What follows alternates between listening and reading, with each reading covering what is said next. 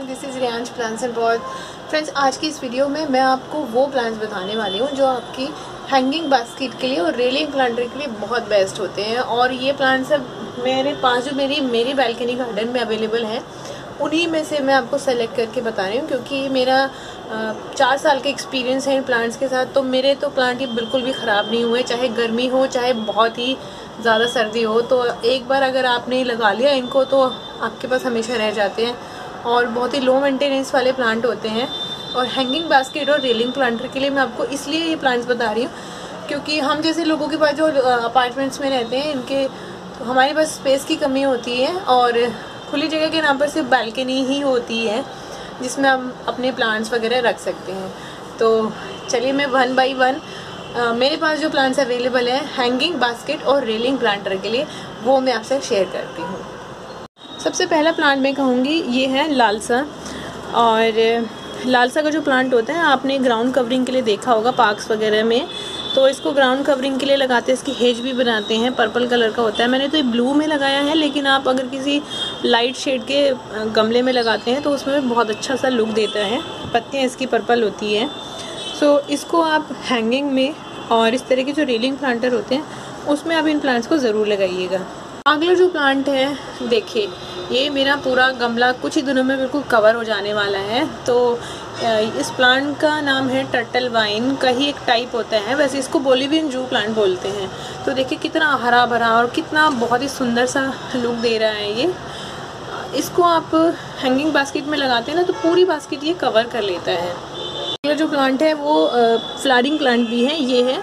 Rain lily plant तो rain lily को अगर आप फरवरी में अभी ग्रो कर लेते हैं तो आपको फिर इसके बल्ब्स होते हैं। तो अगर फरवरी और मार्च में ग्रो कर लेते हैं तो आपको मानसून सीज़न में बहुत ही भर भर के इसमें फूल मिलते हैं।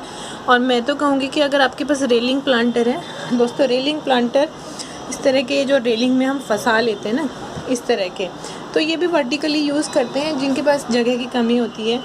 तो रेन लिली प्लांट को आप ज़रूर ग्रो करें, और इनमें अक्टूबर तक खूब अच्छे से फ्लारिंग होती है तो इस प्लांट को आप ज़रूर ग्रो करिएगा। दोस्तों नेक्स्ट जो प्लांट है, वो है मनी प्लांट तो आपके पास अगर हैंगिंग बास्केट है या फिर रेलिंग प्लांटर्स हैं और स्पेशली अगर आपके यहाँ धूप की कमी है तो इस प्लांट को आप रेलिंग में और हैंगिंग्स में ज़रूर लगाइए। ये पौधा तो बहुत ही घना हो जाता है और बहुत प्यारा लुक देता है हैंगिंग्स में और रेलिंग प्लांटर्स में। तो ये पौधा इस फरवरी में अपने रेलिंग प्लांटर्स में हैंगिंग बास्केट में ज़रूर लगाएँ या खरीद कर लेके आए। फ्रेंड्स नेक्स्ट जो प्लांट है, वो है ये स्पाइडर प्लांट तो स्पाइडर प्लांट तो बहुत ही बहुत ही सुंदर सा लुक देता है और इसको तो आप अपनी हैंगिंग्स में ज़रूर लगाइए और इसमें से रनर्स निकलते हैं, जब वे निकल, लटकते हैं तो बहुत अच्छा बहुत ही सुंदर सा लुक आते हैं। ऑनलाइन लेते हैं तो बड़ा महँगा प्लांट मिलता है, लेकिन आपको अपने आसपास की लोकल नर्सरीज़ में ये बहुत ही इजीली मिल जाएगा। तो स्पाइडर प्लांट को हैंगिंग में या रेलिंग प्लांटर्स में आप इस सामान में ज़रूर ऐड करें। और नेक्स्ट प्लांट हैंगिंग में और रेलिंग्स में लगाने के लिए ये है सिंगोनियम प्लांट तो सिंगोनियम का प्लांट भी कटिंग वगैरह से लगाते हैं और इनको डिवाइड भी कर सकते हैं। इसमें बहुत सारी वेराइटी आती है और सिंगोनियम एक ऐसा प्लांट है जो आपको हर एक नर्सरी में मिल जाएगा। इसकी कोई ना कोई वेराइटी ज़रूर मिल जाएगी। तो इस प्लांट को आप हैंगिंग बास्केट में लगाइए या फिर रेलिंग प्लांटर में लगाइए तो ये एक बार लगा लेंगे तो आपकी गार्डन से ये नहीं जाएगा। तो इस प्लांट को ज़रूर ऐड करें। अभी फरवरी में लगा लें, पूरी गर्मी इसकी ग्रीनरी आपको देखने को मिलेगी। अगला जो प्लांट मैं कहूँगी कि हैंगिंग बास्केट के लिए आइडियल होता है, वो है ये स्पैरिगस फर्न का प्लांट मैंने तो एक क्योंकि गमले में लगा रखा है तो ये बांधा हुआ है क्योंकि ये बहुत फैल जाते हैं।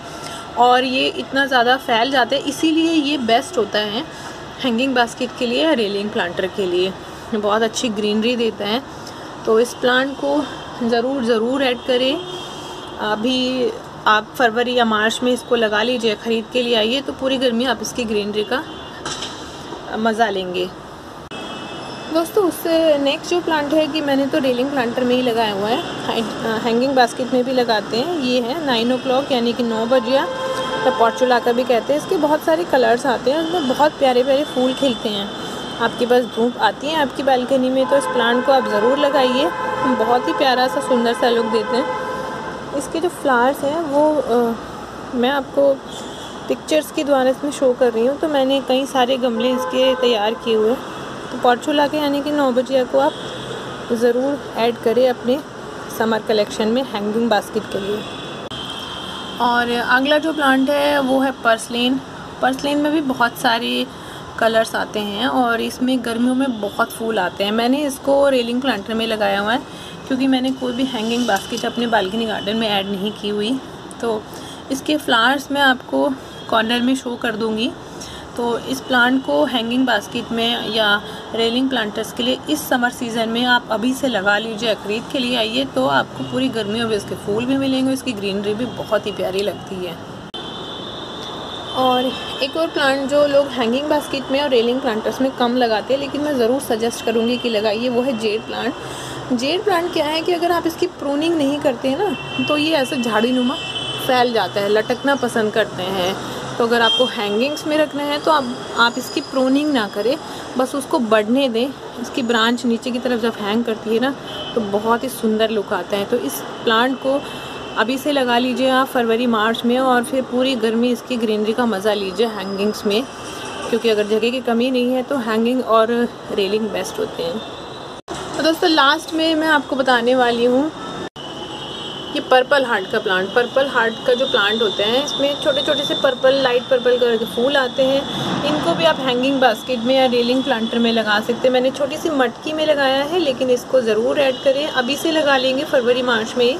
तो ये आपको बहुत ही सुंदर सा कलरफुल लुक देता है आपके गार्डन में। तो इस प्लांट को आप ज़रूर हैंगिंग्स में लगाइए। और सबसे लास्ट में मैं आपको बताऊँगी, ये बोट लिली का प्लांट ये भी एक ऐसा प्लांट है कि ये भी हैंगिंग बास्केट को कवर कर लेते हैं। इसमें नीचे पर्पल पत्तियाँ, पत्तियों का कलर नीचे पर्पल होता है, ऊपर होता है ग्रीन तो ये भी देख सकते हैं कि ये भी इस तरह का एक प्लांट है कि जो आप अपने गार्डन में, अभी फरवरी, मार्च में ही लगा लीजिए इसको हैंगिंग में या रेलिंग प्लांटर में। तो पूरी गर्मी आप इसकी सुंदरता के मज़े ले सकते हैं। तो दोस्तों ये थे हमारे कुछ प्लांट जो कि स्पेस की कमी होने पर आप हैंगिंग्स में या इस तरह के रेलिंग प्लांटर्स में लगा सकते हैं और आप भी अपना गार्डन तैयार करें और प्रकृति ने जो हमें इतने सुंदर सुंदर फूल पौधे दिए हैं, उनकी खूबसूरती का आप मज़ा लें। तो मैं चैनल पे नए हैं तो चैनल को सब्सक्राइब करिएगा वीडियो लाइक करिएगा और नोटिफिकेशन बेल को ऑन करिएगा ताकि आगे आने वाली वीडियोस में मैं आपसे मिलती रहूँ। तब तक के लिए हैप्पी रहिए, खुश रहिए गो ग्रीन हैप्पी गार्डनिंग